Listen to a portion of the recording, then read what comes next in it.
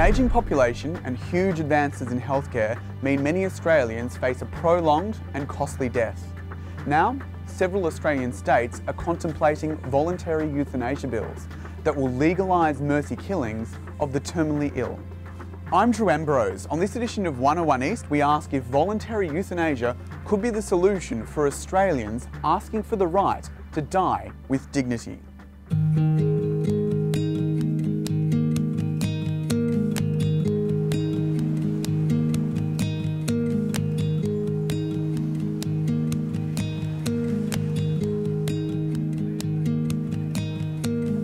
1996, Australia's Northern Territory became the first place in the world to legalise voluntary euthanasia, essentially allowing doctors to prescribe suicide to their terminally ill patients.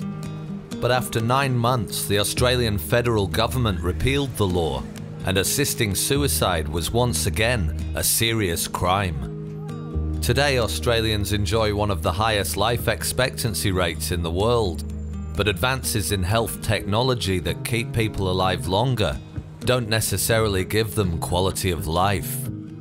I get too bad and I can't do nothing about it and I just got to lay there like a zombie. I want to go when I want to go. Many Australians who fear the prospect of a bleak, medicalised and drawn out death are once again thinking that voluntary euthanasia might be the answer and several state governments are now considering the option.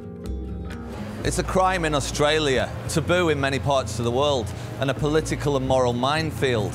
But poll after poll shows the majority of Australians want voluntary euthanasia legalised. While politicians around the country debate the issue, on the Gold Coast, people are taking matters into their own hands by learning how to end their lives when they no longer feel they're worth living.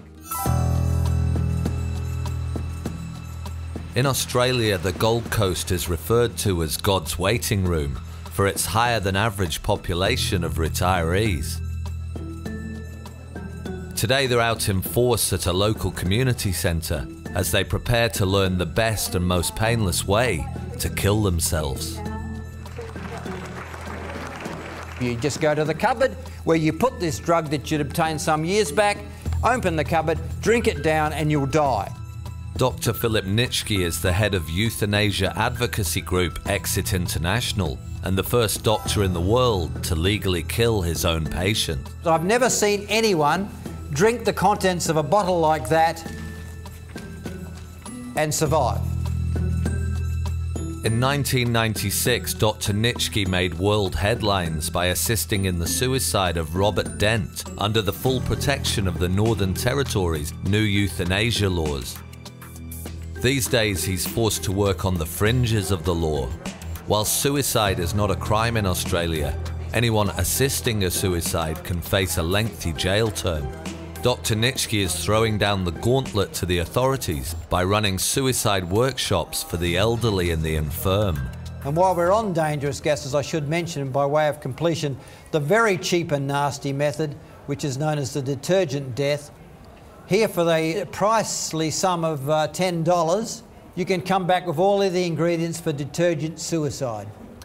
Very effective, but dangerous to everyone else, and of course it stinks.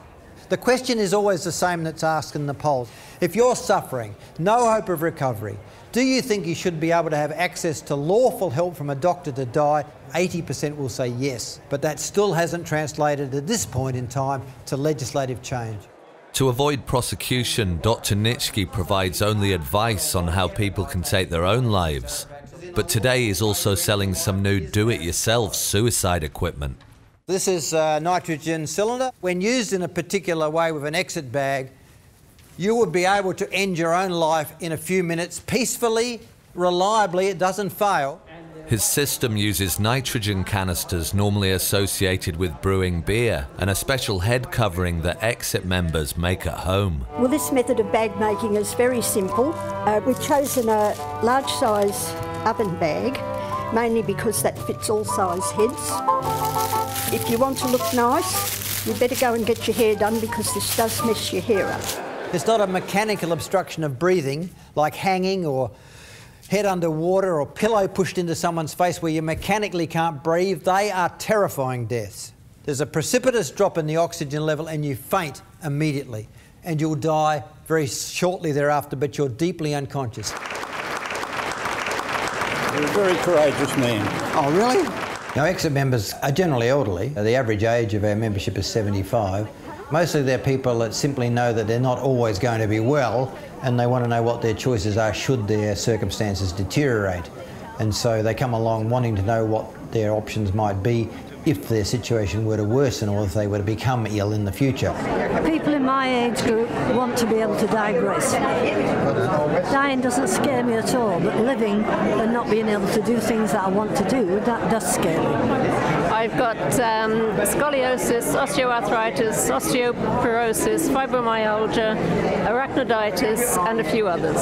So it's going to be a painful death. There's no way I'm going into a nursing home where I'm lying there like a vegetable. Um, when a certain time comes in my life and I think I can't handle anymore, I'm certainly going to make sure that that's the way I go. I'm not going to burden my children. I'm not going into a nursing home. My criteria are very broad. I think that if a person is of sound mind and an adult, they deserve access to the best information. I don't think there are too many lines, the lines that I've just indicated, not for children and not for the mentally unwell. But there's an oven in there. he says about his workshops that you need to be 50 to attend. There have been cases where people younger than that have got access to his information online and have taken their lives. Paul Russell is the founder of an anti-euthanasia organisation called HOPE and an active member of the Right to Life movement.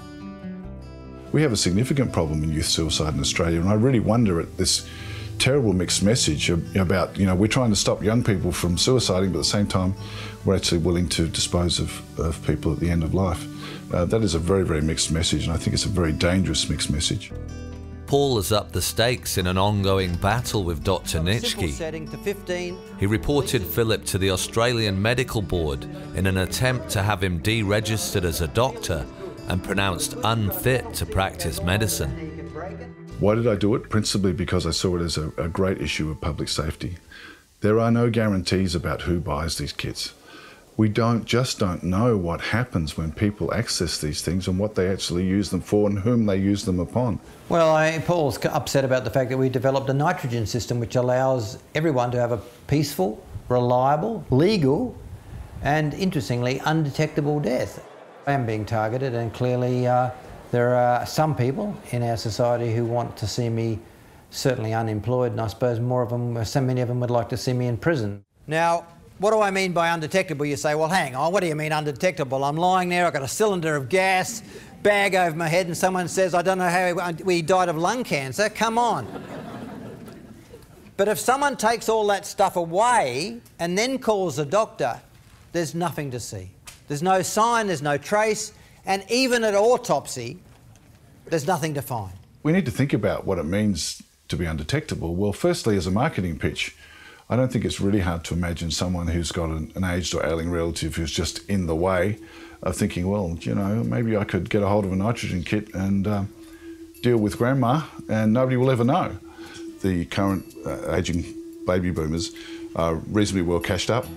Um, they have a lot of resources and there are unscrupulous relatives, carers, etc., that are taking advantage of people like that. A resident of the South Australian capital, Adelaide, Paul has personal reasons for lobbying local MPs to stop a stream of euthanasia bills from gaining traction in the state parliament.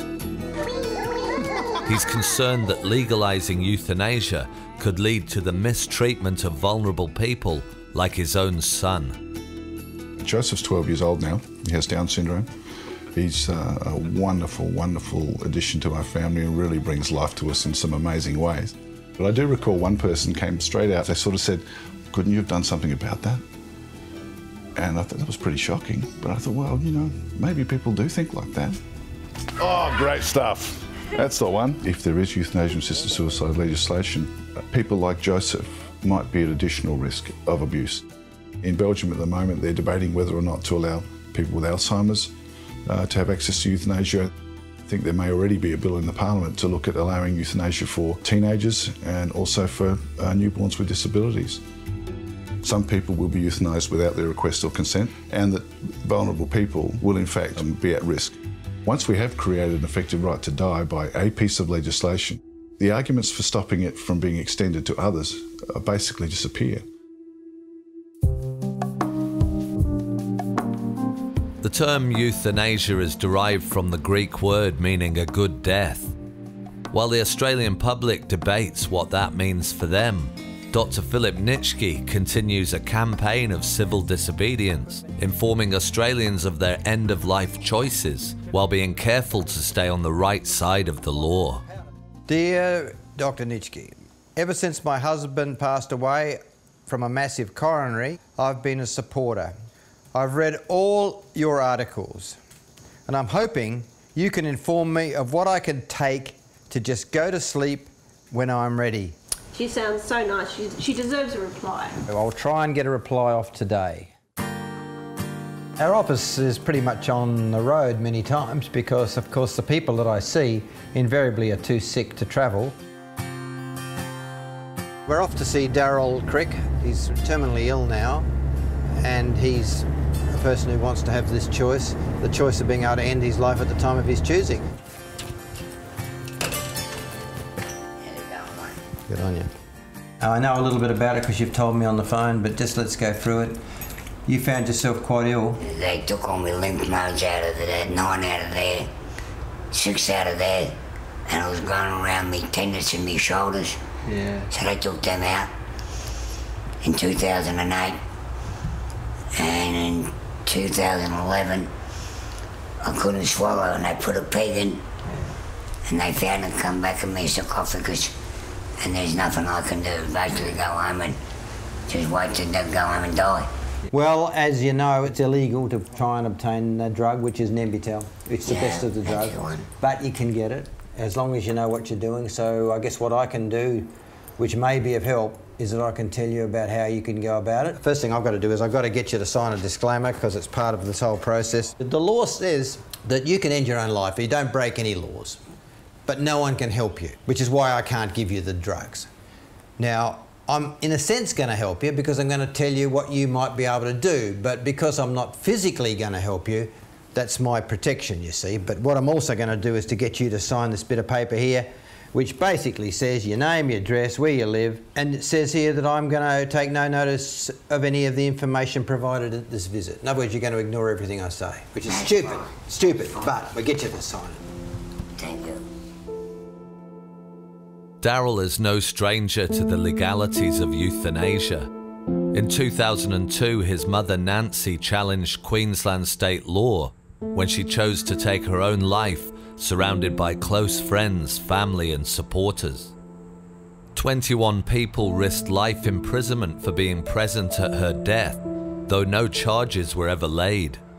Dr. Nitschke advised Nancy on the drugs she could take to end her suffering and her life, and now he's doing exactly the same for her son. Now it'll be a white powder. It dissolves in water. Now you're lucky in one sense because you're having trouble swallowing because of the way the cancer's spread. You've got a peg and just pump it straight in to your gut and you'll go to sleep very quickly. I would say within a few minutes. So if you're going to have a final drink, be it beer or maybe something a bit stronger, Yeah. maybe some Rum. Bundy rum, you'll be able to sip on that rum and you won't get long. Oh, But it'll be a damn good rum to sip on. okay, we'll be alright. And, and, you'll, and you'll just go to sleep. Ah, oh, you like me mum? Yeah, exactly like your mum did. It's the most peaceful of deaths. Yeah, so now I feel a lot better. I don't have to worry about nothing when the time comes. I'll have me milk and go off to Disneyland.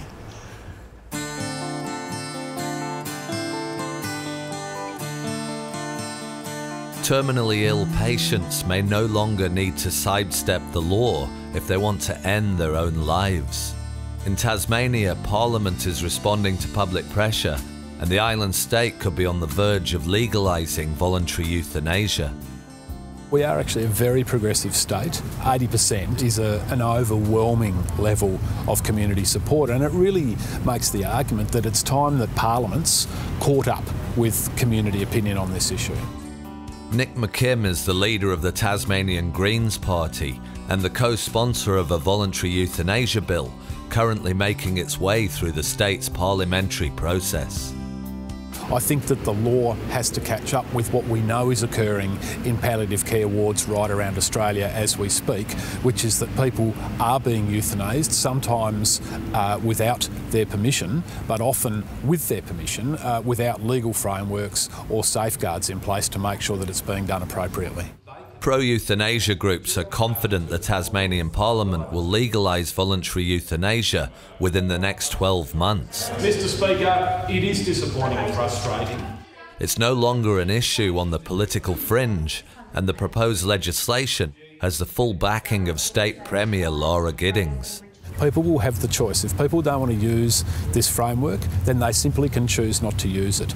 Under our models, doctors will not be able to sort of hawk or sell uh, voluntary assisted dying to patients. It would have to be raised in the first instance by patients. We want to make sure it's truly voluntary, but we want to make sure that to the best of our capacity we can reduce the kind of unnecessary suffering and the unnecessary loss of dignity which tragically uh, so many Australians currently face towards the end of their lives. The most vociferous opposition seems to come from organised church groups, particularly the Australian Christian Lobby. This reform is based on values like compassion and respect for human dignity, and I don't see any conflict between Christianity and voluntary assisted dying, and in fact, neither do many Christians. The Catholic Church in Tasmania is alerting its parishes and schools to the fundamental ethical principles involved, and of course taking advantage of living in a democracy and putting its point of view in the public square. Father Michael Tate is a former Australian Federal Minister for Justice turned Catholic priest.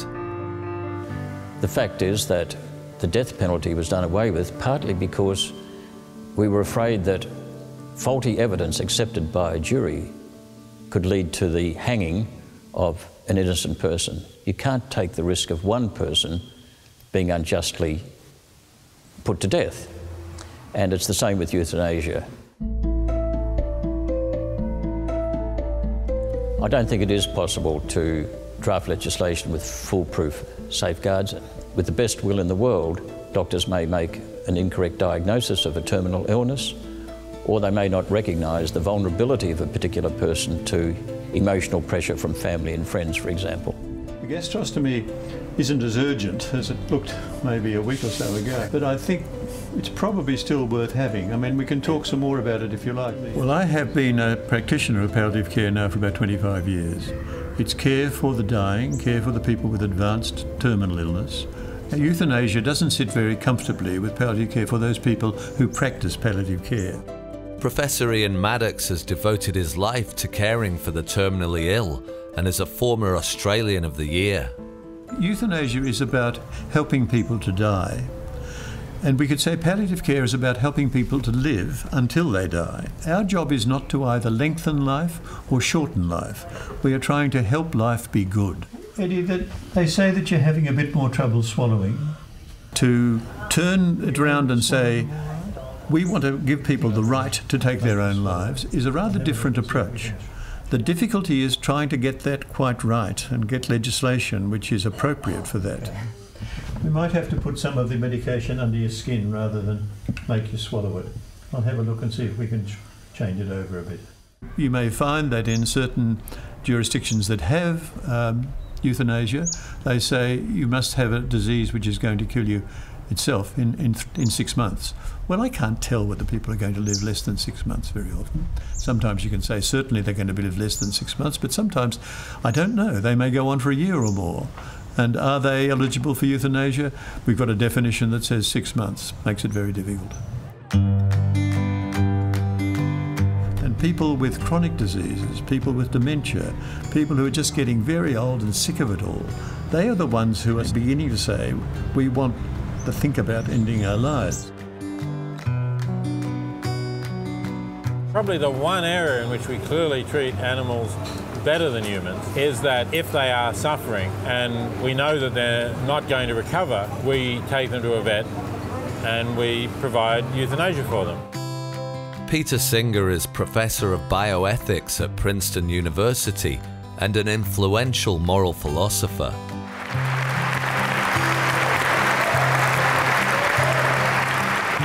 The author of provocative titles such as Killing Humans and Killing Animals is speaking to a packed house in Melbourne. It's okay for doctors to let nature take its course, to allow someone to die without treating them, but uh, heaven forbid that they should heed their requests for voluntary active euthanasia and actually give them an injection that will end their suffering.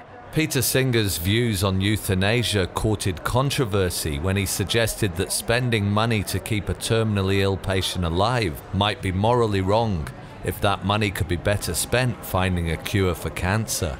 Well, I think the clearest case where euthanasia is justifiable is undoubtedly with the consent of a well informed, mentally competent person. I also think there can be cases of people who were never capable of giving consent. For example, a, a, a baby born with a very severe disability, where one might feel that the suffering of that infant or and of the child, if the child lives, will be so great and the prospects for a meaningful life will be so poor that euthanasia could be justified then. I think a good way of testing what the effect of changing the law about voluntary euthanasia is likely to be is to look at those countries that have already done it. I mean, this is not some new idea that nobody has put into effect. Uh, in the Netherlands, they've had the open practice of voluntary euthanasia for more than 20 years. The population there is overwhelmingly supportive. The best person to decide when a human life is not worth living is the person whose life it is. The second best situation is where you've had a thorough discussion with them beforehand of would they like to live in a condition like this? And then they might say, well, you know, if, if it reached this point, I wouldn't want to live. I hope we don't ever get to a stage in Australia where doctors are licensed to kill. I have tried to stop um, voluntary euthanasia legislation. I've always hung on to life. We are programmed genetically to want to live, not to want to die. John Moxon is an anti-euthanasia campaigner and a former race car driver who became a quadriplegic during a car crash in 1970. I lost control and the car crashed backwards into a concrete wall and my neck was broken. The next five months I spent in hospital and rehabilitation, learning to live with my now limited mobility. I remember quite clearly saying, well, if I had an accident and that happened to me, I'd rather not survive. I don't think I, for one moment, um, have not wanted to live because of my spinal cord injury. So if people have a view in their minds of what it's like to have a severe disability or to be in a nursing home uh, where they you know, are looked after by other people, and they see that as worse than dying. So it's, it's a combination of ignorance, and a knowledge, because they've visited their grandparents or their parents in a nursing home, of how horribly we treat old people in nursing homes. I have a very strong belief that as a, as a species, our way forward is by working with and supporting each other, not getting rid of the ones that are weakest in the tribe. I just fear that once the legislation is in, hate to use the term, but there is a slippery slope. If suddenly you are, you are a person considered to have a life not worth living, how much effort are people going to put into keeping you alive? I find that challenging thought and it scares me.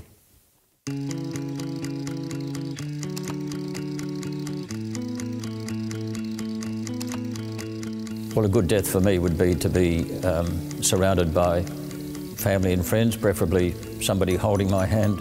For some, it might mean doing the ultimate bucket list and, and dying satisfied you've done everything you wanted to do in life. A good death is a death whereby we have uh, a level of control over the timing of our death. I think to die of a heart attack, uh, something like that, at a, at a ripe old age when I was doing something that I enjoyed doing would be a good way to go. What I do know is that I want choice. I also know that I've actually got choice, so I'm fortunate.